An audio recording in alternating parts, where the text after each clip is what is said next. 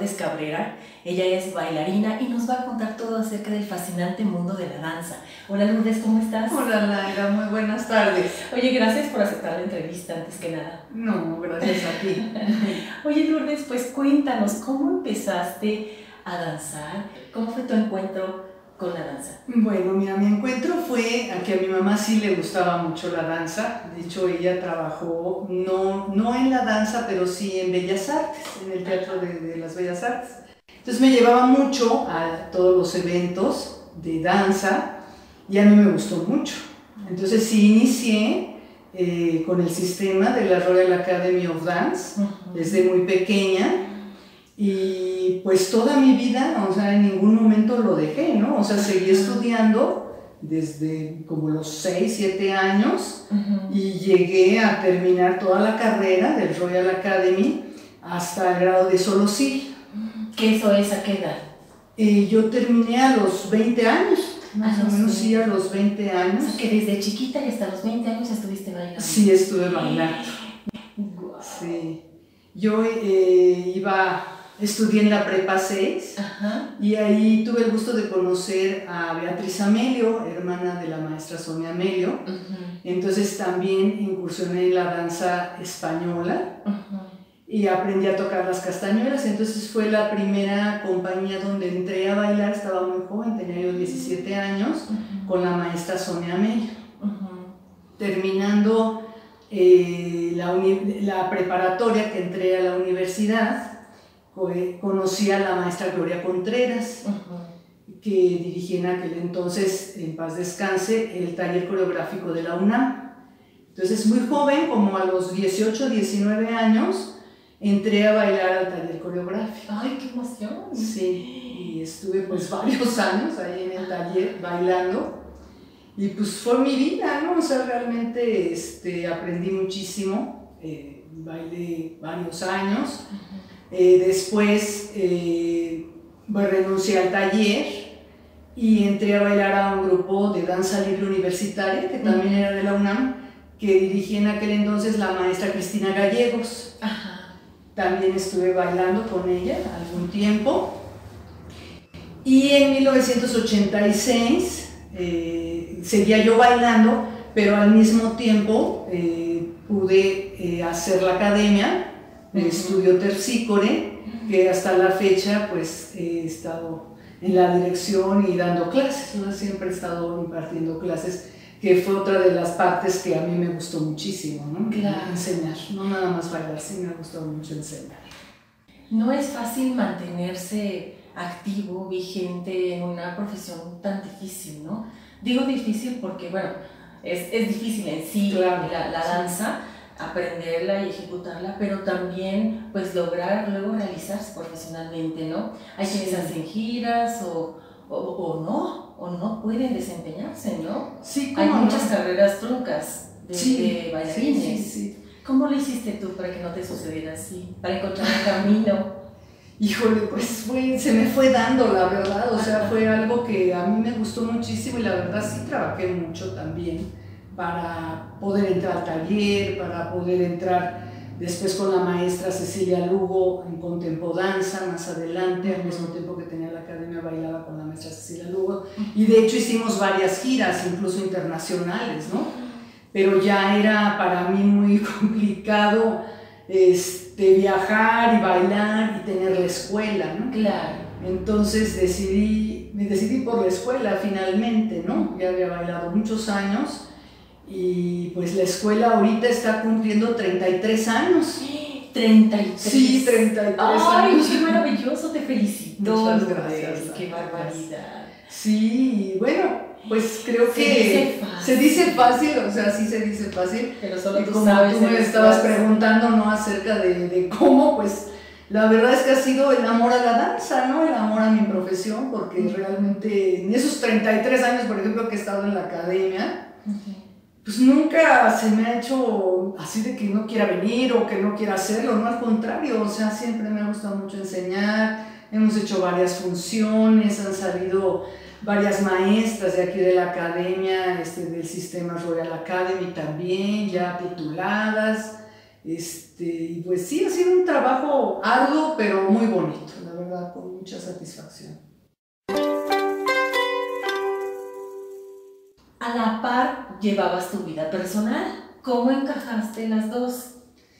Pues, ¿Te casaste? Sí, me casé, me divorcié, después me casé y enviudé. Tengo dos Mm. hijas. Y bueno, pues no fue tan, tan fácil, ¿verdad? Porque pues siempre, siempre hice tiempo para ellas, o sea, siempre mi prioridad en realidad fueron ellas, ¿no? Claro. Este, aparte de la academia, pero nunca descuidé tampoco la- las clases de la academia, ¿no? O sea, fue un trabajo en conjunto, siempre lo ha sido, ¿no? Pero eso tiene mucho mérito porque cuántas mujeres tienen que dejar sus carreras, sus profesiones, pues para dedicarse a, a la casa, ¿no? Al cuidado de los hijos.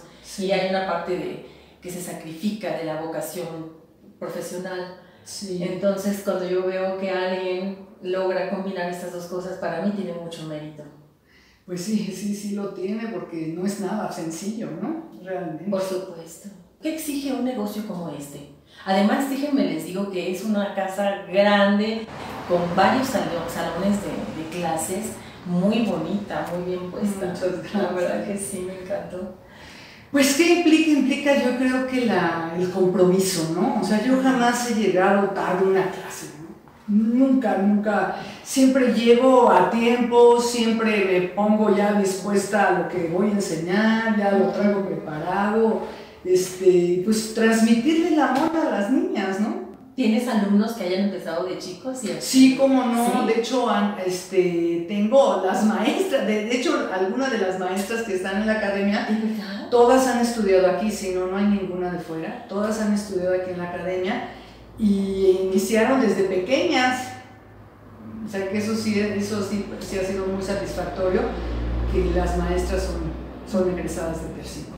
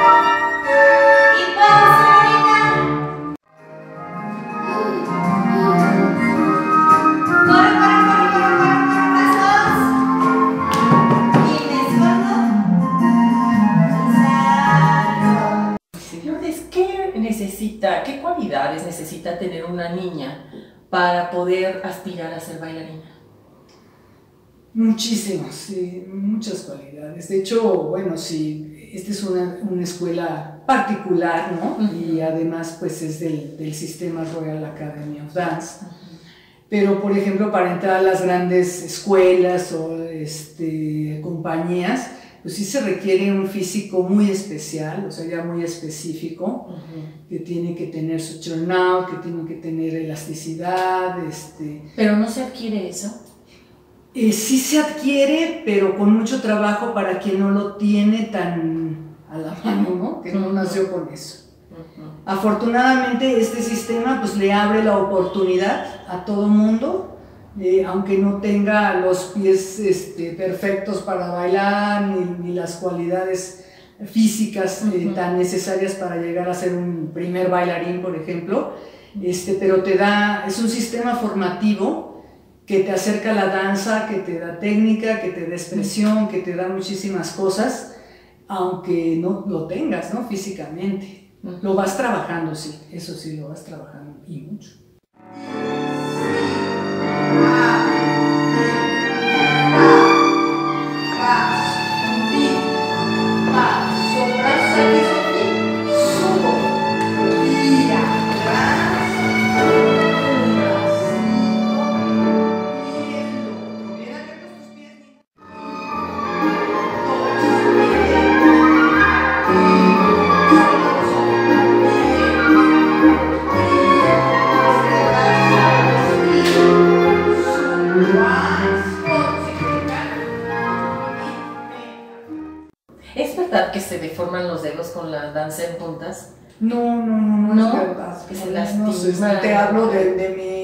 Que se te ponen feos porque los tienes así parados en las zapatillas. No.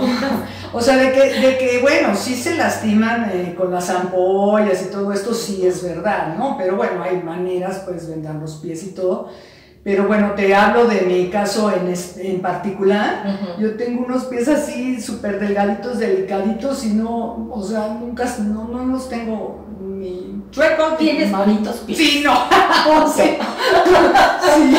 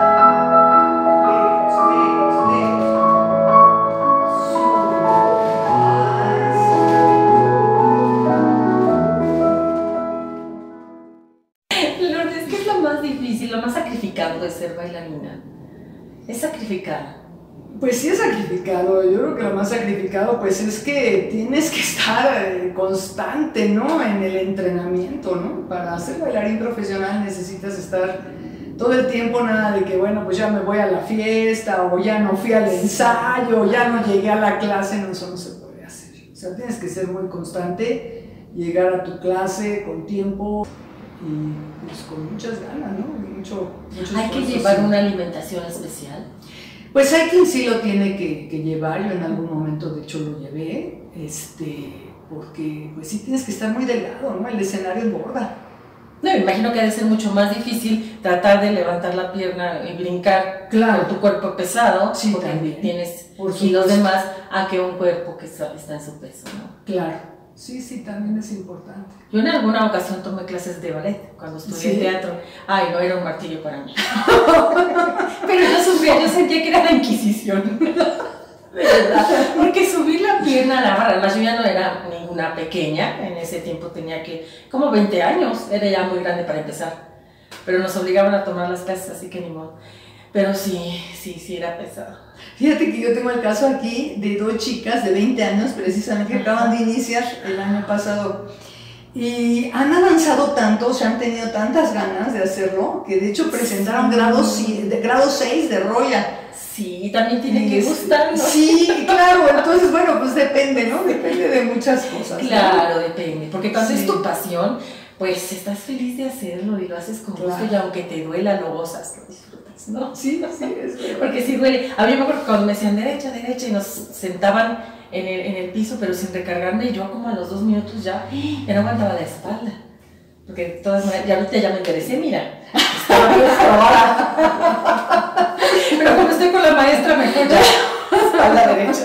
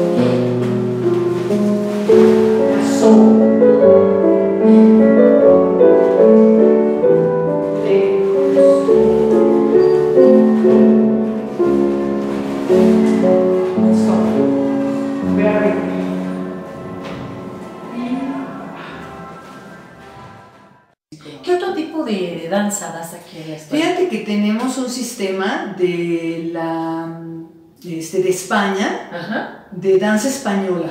que tiene danza este, bolera, tiene danza flamenca, lo da la maestra Jessica Noslin, que ha estudiado el sistema, que lo creó el maestro Arcadio Carbonell, que en paz descanse. Entonces tenemos eh, todo, todos los grados de Royal Academy hasta niveles avanzados y tenemos eh, grados hasta, la maestra está haciendo ahorita grado 9 de, de danza española.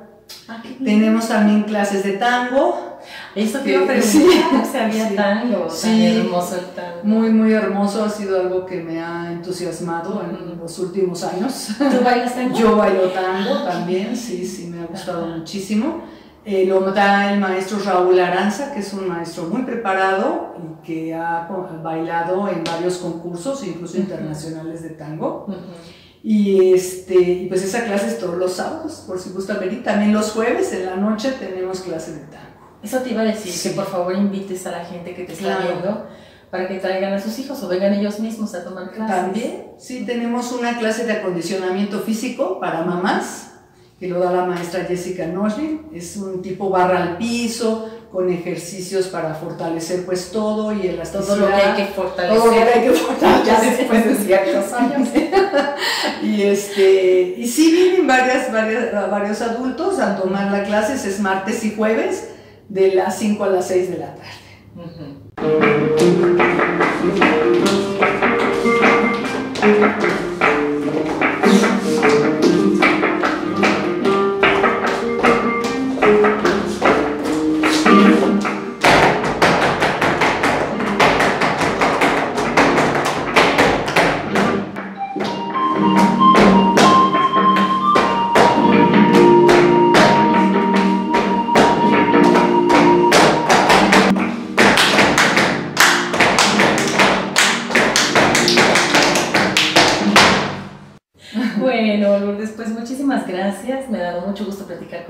Gracias a ti, Lai. Y pues bienvenida a Energía de Mujer.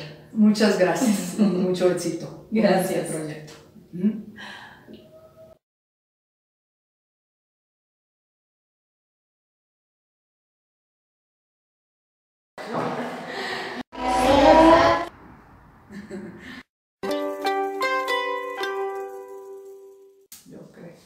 Ya le puse.